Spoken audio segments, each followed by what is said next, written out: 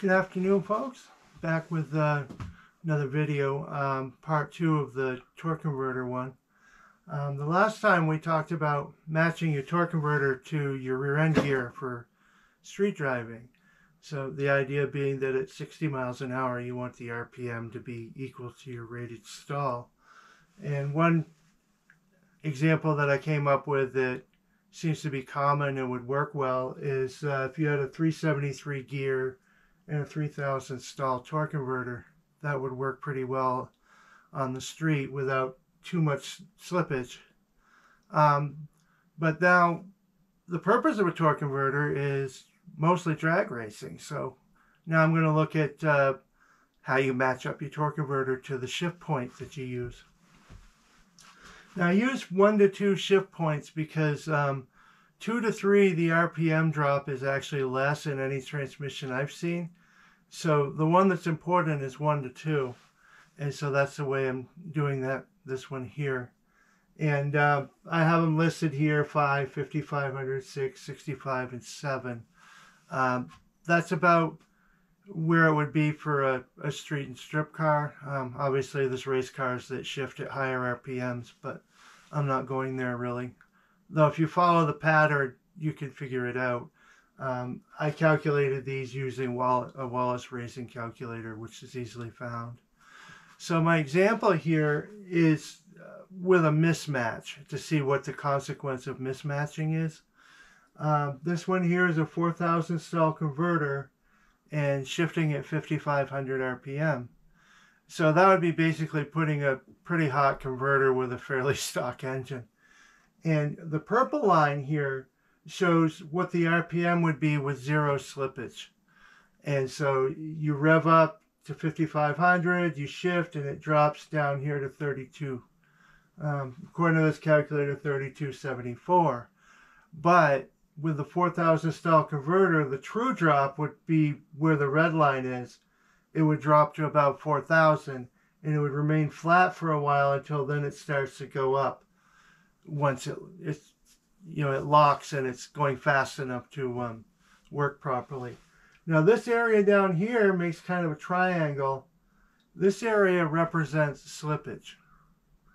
Now, if your um, stall speed is close to what the RPM drop is, it won't be too bad. But when it's a, a big difference, you know, 4,000 versus 3274, that's, that's enough of a difference that's going to cause slippage.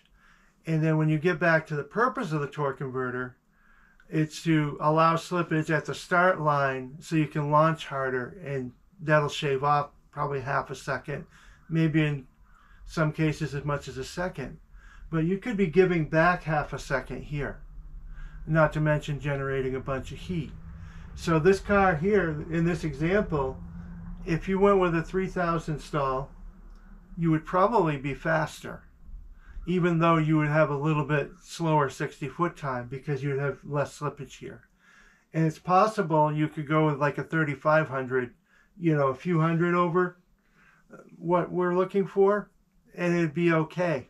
But um, going this much over would definitely be a bad idea. Um, the other thing to consider is the torque converter's um, stall speed is dependent much on how much torque the engine makes and also the load. And the load is affected by gear ratio in, in addition to weight. So when um, you're looking at this 3274 now you can call up a converter company and have them spec you a converter, um, a custom converter, or you could get an off-the-shelf one, probably a lot cheaper.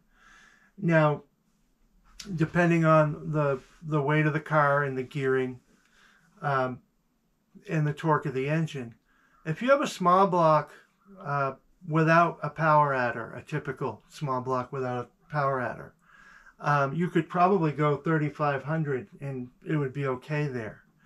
But if you have either a large engine like a 454 or, or larger, or if you have a even a small block with a like a nitrous kit, a nitrous kit can add 200 foot-pounds pretty easily.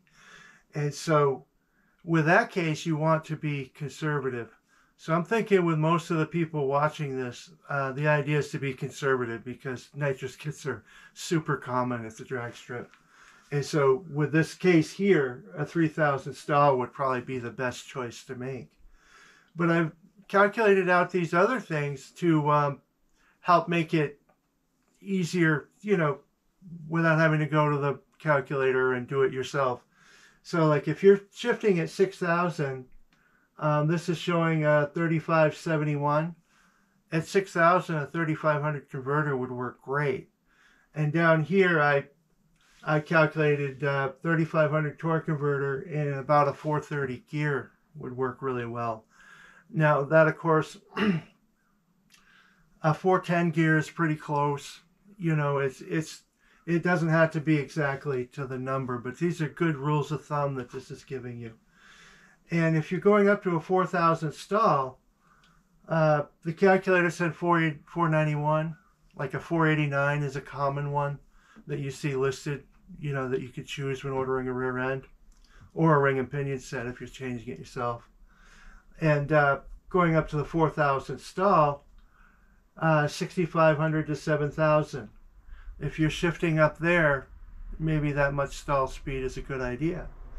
Um, I didn't go to below 3000 because generally speaking a 2500 converter will work with most situations but um, as an example for myself outside my next victim is an old Chrysler I used to play with that that I parked years ago now that one has a 727 with a 2500 converter and 354 gears. Uh, mated to a 318 with 340 heads and a cam. Um, that combination worked great. It drove great on the street. It didn't have any hesitation or anything, even with a 780 CFM carb on a 318. Um, so that's a another example that's not on the board, but I know from experience that that one works. So here you go. Um, this is part two of the uh, torque converter section. And between the two, I think it, it makes it really easy to pick the right one. Take it easy, folks.